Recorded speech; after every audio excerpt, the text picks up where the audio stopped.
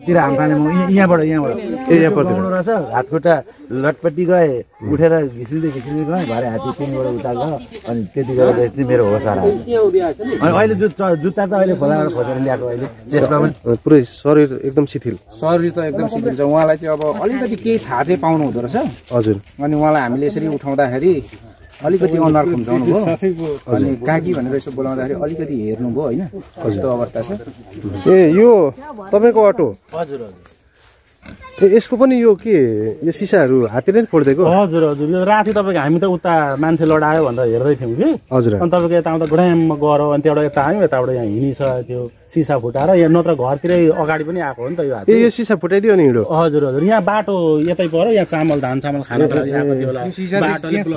हुँदो रहेछ कि? आवाज आउँदो यहाँभित्र हेर्नु न सिसा। सब झराम झुरुम दर्शकबिन यो तपाईँ देख्न सक्नुहुन्छ उता हात्तीले पर चारजना मान्छेलाई आक्रमण गरिसकेपछि यता आउँदाखेरि यहाँ रहेको अटोमा पनि उसको सम्भवतः यो टाउकोले ठेलेको होला नि। त्यो आउनु खोज्दैछ है। भाइ आऊ त यो टच देखाउ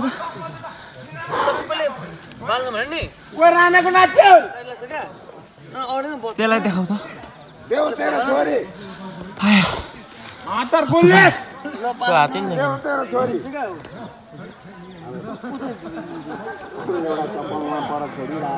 अलिक उहाँसँग आएपछि मात्रै भएको।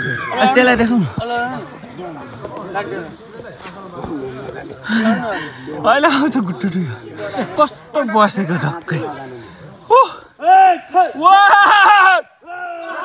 निस्क निस्क निस्क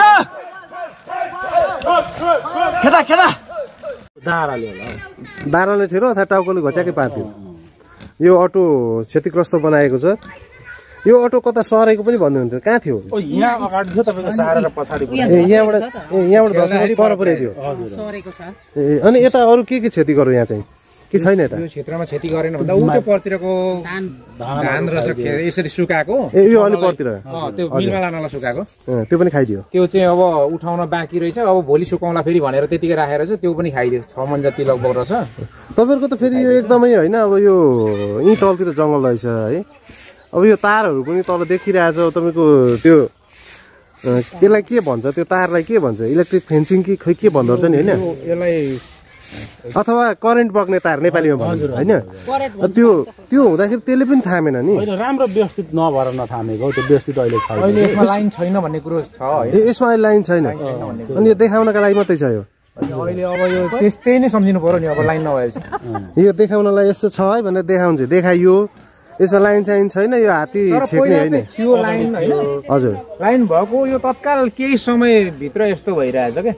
यो अब अहिले लाइन कुनै बेला फेरि लाइन हुन्छ कुनै बेला हुँदैन। त्यही त अब कुनै बेला हुन्छ कुनै बेला हुँदैन। अब त्यो मेन कुरो ब्याट्री हराएदेखि चाहिँ नभएको हो कि भन्ने खालको लागिरहेछ। अब। त्यो पनि जस्तो ब्याट्री हराएको भन्ने कुरो त्यहाँबाट छ त्यो ब्याट्री पनि हामीले स्वयं गरेर चाहिँ अब हेर्न मिल्दैन। प्राविधिकै हुन्छ होला उनीहरूकै हजुर। यो तार विशेष यो तपाईँ बोल्दा बोल्दा मैले कुरो काटेँ। जस्तो अब तपाईँहरू यो हात्ती प्रभावित क्षेत्रमा हुनुहुन्छ होइन? अब के छ? नेपाल सरकारले चाहिँ तपाईँहरूलाई सेवा सुविधा के दिन्छ कि दिँदैन? के छ यस्तो अब नेपाल सरकारले नेपाल सरकारले सेवा सुविधा राज्यले सेवा सुविधा चाहिँ केही दिएको छैन है? राज्यले अब सेवा सुविधा भन्नाले योभन्दा अगाडि भएको घटना। हजुर। कहाँ कहाँ यही हाम्रै भनौँ न हल्दीबारीको घटनामा कसैलाई अठार बिस हजारको दरले होइन कसैको धान कसैको के कसैको यस्तै सानो सानोतिनो क्षति जी जीवनको क्षति चाहिँ होइन। हजुर। सानोतिनो क्षति भएको घटनाहरूको चाहिँ क्षतिपूर्ति हिजो अस्ति भर्खरै गाउँपालिकाले दिएको भन्ने कुरो अब देखियो। हजुर होइन त्यो सूचनामा आएको छ। त्यो सबैको नाम सहित आएको छ। त्यो उपलब्ध भयो। हजुर। तर अब त्यस पश्चात अब त्योभन्दा अगाडि पनि हुन्छ भन्ने चाहिँ कुरो थियो। तर यो गाउँपालिकाले भन्दा पनि त्यो चाहिँ उतै जान्छ होला। अँ जिल्लाबाटै यता वन डिभिजनबाटै जान्छ अरे कि त्यसको प्रक्रिया चाहिँ? ए वन डिभिजनबाटै जान्छ जस तपाईँहरूलाई सामान्य क्षतिपूर्ति चाहिँ दिन्छ। खोइ दिन्छ कि भन्ने आश हो? अब अरूलाई त्यहाँनिर सामान्य यसो दिएको देखेर होइन? हजुर। अब यहाँ यो भाइको यत्रो क्षति भएको छ अब त्यो परतिर त ज्यानै जान सम्भावना थियो होइन? हजुर। अनि अब यस्तो विषयमा अब अब हेर्नु त यो दुई पैसा अब कमाएर खाने भाँडो नै बिगारिदियो। हो।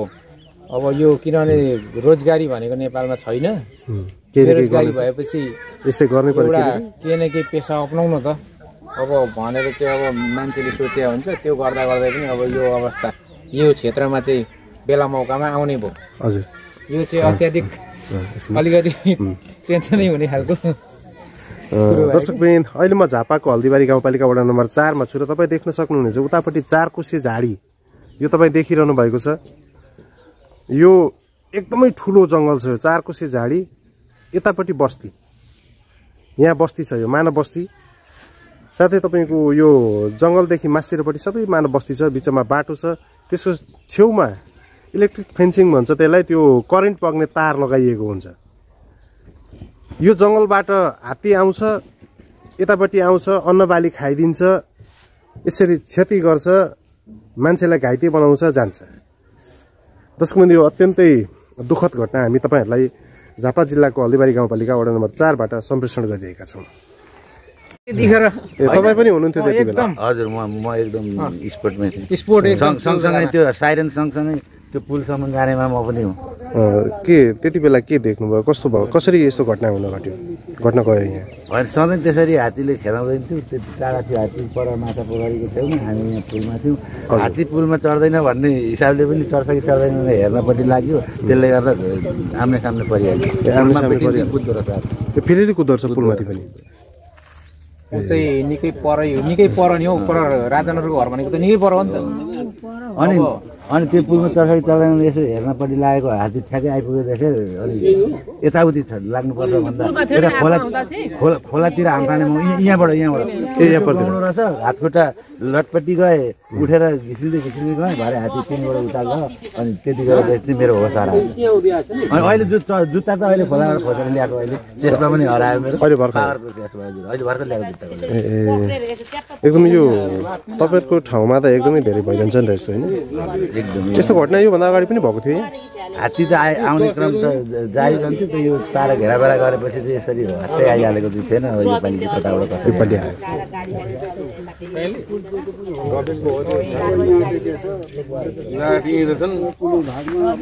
लाइटै कतै कतै टेकेको थियो यो पहिला पसेको ठाउँ भरे मान्छेलाई आक्रमण गर- गरेर त्यहाँ पऱ्यो फेरि यी मान्छे लडेको।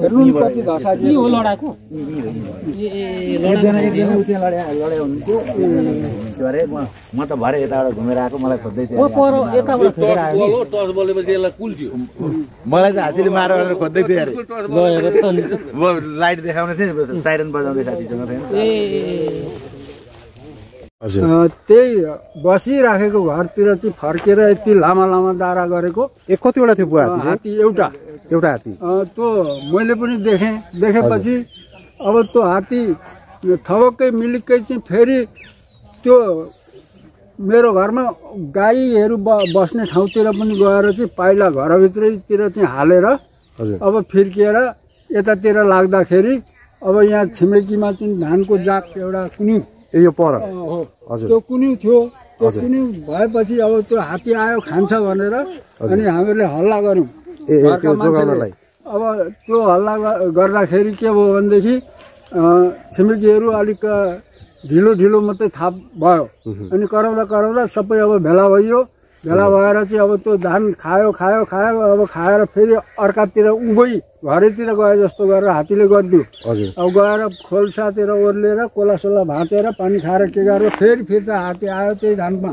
धानबाट चाहिँ अब हात्ती अब गयो होला। साइरन साइरन पनि साथीहरूले पारी गाउँबाट चाहिँ लिएर आइदिनु भएछ। त्यो साइरनको आवाज सुनेपछि हात्ती बाटा लाग्यो। तर बाटा लाग्यो बाटा लाग्यो पारी गयो। अब यो पक्काको पुलमा हात्ती चढ्दैन अरे भनेको कथा सुनेको थियो। सबैजनाले त्यही मात्रै सम्झना भएछ। अब हात्ती पारी गइसकेको अब गयो भनेर हात्तीलाई खेलाउँदै खेलाउँदै अब पछि पछि चाहिँ यो बाटो बाटो पर्छ। बाटामा चाहिँ सबैजना चाहिँ जाँदाखेरि अब सबै गाउँ परिवारहरू सबै चाहिँ हात्तीको चाहिँ अब त्यो दौड उता चाहिँ लागेपछि चाहिँ गए गए भन्दै चाहिँ जाँदाखेरि हात्ती एक्कासी अब कराउँदै चाहिँ टाढा पारी नै पुल पारी पुगेको हात्ती कराउँदै आएर त्यहाँ अब भेला भएका मान्छेमा ज जसलाई चाहिँ अब भेटायो अब अहिले धेरै चाहिँ अब सकस भएका अ, गौरा पौडेल हजुर। मेरै भाइ बुहारी साइली। हजुर। नगेन्द्र पौडेल मेरै भाइ माइलो। हजुर।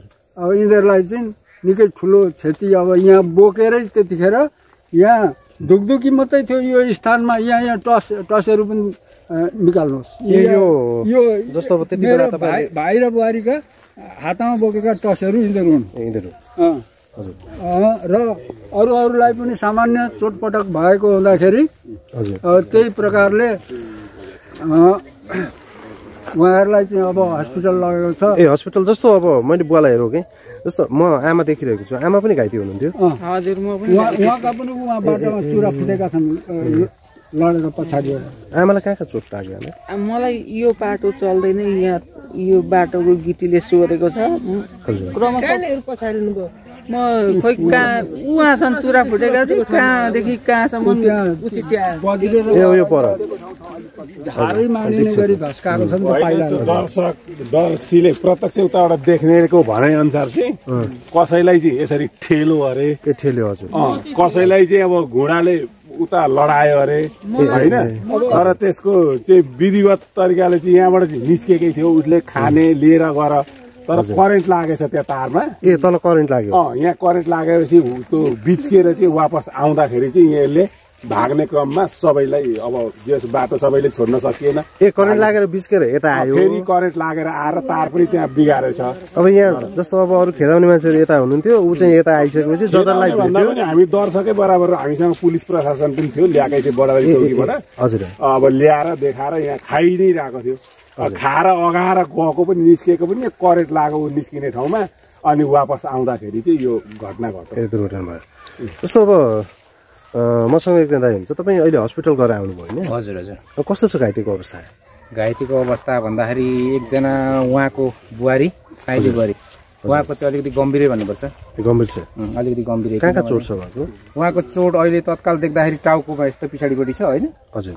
अन्य चाहिँ भनेको उहाँको जिउ अब भनौँ एकदम शिथिल छ पुरै। पुरै शिथिल अब पुरै अब त्यस्तो छ अवस्था। अनिदेखि कहाँ हुनुहुन्छ उहाँकै भाइ। अनि उहाँको एकपट्टिको यो हात तिन ठाउँ भाँचिएको भन्ने खालको डक्टरले भनेको छ। कति ठाउँ छ होइन? यो तिन ठाउँ भाँचिएको भन्ने खालको अघि कुरो भयो त्यहाँ एक्सरे हेर्दा। हजुर।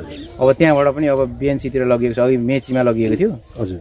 मेचीमा लाँदाखेरि चाहिँ अब त्यो खालको कुरो भयो। अनि त्यहाँ एकछिन अब त्यति वास्ता पनि भएन। अब डक्टर पनि छैन अहिले भन्ने खालको कुरो भयो। दस बजे पर्खिनुपर्छ भनेपछि अनि त्यहाँबाट तत्कालै ए यहाँबाट घाइते लगेर त्यहाँ दस बजीसम्म पर्खिँदाखेरि अनि दस बजी पछाडि डाक्टर आएर उपचार गर्ने। डक्टर त्यति दिनसम्म कुनै पनि दुर्घटना भयो भने। जिम्मेवारी त हुनुपर्ने हो नि त होइन। जिम्मेवारी भएन अनि त्यही जिम्मेवारी नभएको कारणले अनि हामीले त्यहाँबाट लानै पर्ने अवस्था भयो। हजुर। अनि अब कसलाई के भन्ने डक्टर नभइसकेपछि कसलाई भन्ने? अब उहाँहरूले भन्नुभयो डक्टर दस बजी मात्रै आउनु आउनुहुन्छ भनेपछि समस्या देखियो नि त। बिरामी लिएर दस बजीसम्म त बस्नु कुरो बस्ने कुरो भएन। त्यो पनि बिरामी राति अब तिन बजे लगभग यहाँबाट तिनदेखि तिन दसमा हिँडाएको यहाँदेखि। यहाँबाट? लगभग बिरामी। अब अहिले बिहान भर्खर छ बजीतिर लगभग साढे छतिर होला हामीले त्यतातिर। सात बजीतिर होला सात बजीतिर मात्रै? त्यता लगेको। त्यतिन्जेल चाहिँ राखियो ती। कस्तो एकजनाको अवस्था चाहिँ अत्यन्तै गम्भीर। अँ गम्भीरै भन्नुपर्छ किनभने अब अहिले अब जस्तो हामीले एम्बुलेन्समा लाउँदा ओर्दा होइन? हजुर। एम्बुलेन्समा लगाउँदाखेरि त्यो उहाँको चाहिँ खासै अवस्था अलिकति अरूको भन्दा निकै गम्भीरै देखिन्छ। ए अर्को भन्दा गम्भीर। गम्भीरै देखिन्छ। ए उहाँको चाहिँ पुरै टाउकोमा चोट? पछाडिपट्टि चोट छ। पुरै शरीर एकदम शिथिल। शरीर त एकदम शिथिल छ। उहाँलाई चाहिँ अब अलिकति केही थाहा चाहिँ पाउनु हुँदो रहेछ। हजुर। अनि उहाँलाई हामीले यसरी उठाउँदाखेरि अलिकति अनुहार खुम्चाउनु भयो अनि काकी भनेर यसो बोलाउँदाखेरि अलिकति हेर्नुभयो होइन। कस्तो अवस्था छ? एकदम भनौँ न निकै गाह्रै छ अवस्था चाहिँ। एकदम गाह्रो छ है। गाह्रो छ। अब अहिले हामीले देखेको अवस्था चाहिँ गम्भीर हो। यो किनभने अहिलेसम्म यहाँ भएको घटना कुनै पनि यस्तो थिएन अप्रिय घटना घटेकै थिएन। हजुर। यो चाहिँ फेरि हात्ती कहाँबाट आयो भन्ने कुरो पनि कसैलाई थाहा छैन यहाँ। कताबाट आयो? अँ कहाँबाट आयो? एक्कासी यहाँ आयो नि काका? एक्कासी। यहाँ नानीले थाहा पाएपछि त्यो हात्ती कहाँबाट आयो कुन बाटो आयो पत्तै छैन। एक्कासी आक्रमण गर्दा एक्कासी यहाँ आएर अनि यहाँ आएपछि नानीले देखिसकेपछि यहाँबाट अब यही कुन्यु सुन्यु धान सान भत्काउने यता त्यता खाने ओर्ने अनि यहीँनिर अब गइसकेको पनि अब त्यही भाइले भने जस्तो उताबाट चाहिँ करेन्ट लाग्यो भन्ने खालको कुरो सुन्यो त्यहाँबाट चाहिँ फर्केर आउँदाखेरि त्यस्तो यहाँनिर घटना भयो। अब उसले चाहिँ उहाँबाट कुदेर आएछ मतलब। ए हजुर। कुदेर आएछ कुदेर आउँदाखेरि यहाँ मान्छे थिए। अब मान्छे त गयो भनेर सोचे। हजुर। अब भागेर आउँदाखेरि मान्छे भाग्दाखेरि त हात्तीसँग त सकिँदैन। अनि उसले चाहिँ जतिजना भेट्यो कोकला अब ठेल्नेलाई ठेलेछ लात्तीले हान्नेलाई हानो भनेर भन्दै थियो अघि साथीहरूले पनि। ए कसैलाई चाहिँ समाएर पछाएर चाहिँ भ्याएन। अब सुनले समातेकै देखियो भनेर पनि भन्दै थिए है सुनले पनि सुनले समातेकै देखियो भन्दै थिए। समातेकै भनेर देखियो अरे तर त्यो भाइ अब यहाँ छैन। त्यो भाइ यहाँ छैन समातेरै फ्याँक्यो भुँडीमै टेक्नलाई चाहिँ यहाँ यहाँ मान्छे एकदम धुकधुकी मात्रै थियो। धुकधुकी मात्रै थियो। अब त्यसले चाहिँ एकछिन एकछिन